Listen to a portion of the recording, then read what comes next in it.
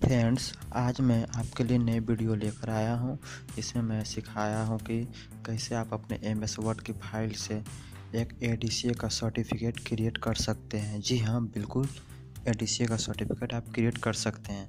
तो वो कैसे करेंगे एम एस वर्ड के द्वारा?